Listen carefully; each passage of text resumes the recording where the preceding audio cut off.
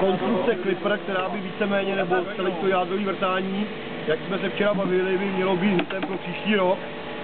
Je tam 3 kW motor, je to 3 rychlostní mašina, je tam ta X3, kterou jste včera viděli, takhle. Je to víceméně nejvýkonnější kotel, který v tuhle chvíli máme v průměru 150.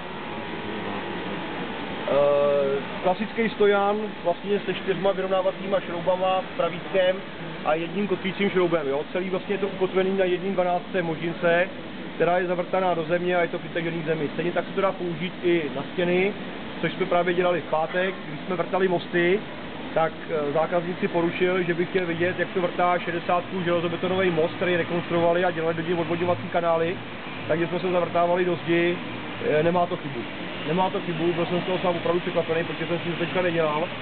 Eh, vrtá to velice pěkně, co je opravdu důležité, je, že tam musí být kvalitní přístup vody.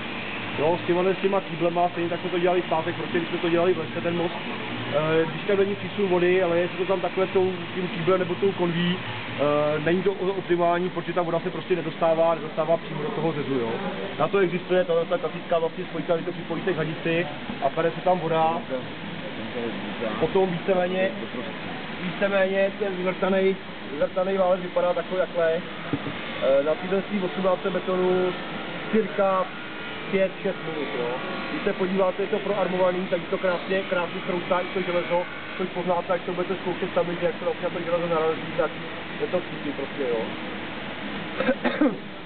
Jinak existuje k tomu ještě víceméně řada doplňků, eh, kde není třeba možný se zavrtat do země, když třeba děláte někde už interiéru nebo kde je jenom zámkovka, pod ní je písek, tak existuje vlastně vakuová podložka, chcete vakuově.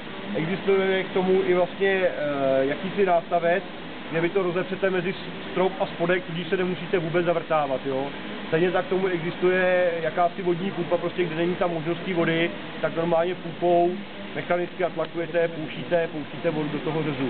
No, to má to e, dvě měrky, jak horizontální, tak vertikální, abyste prostě dokázali, dokázali vytvořit tu ideální rovinu na to, abyste se mohli zavrtat do země. Klasika transportní kolečka, 50 vrták.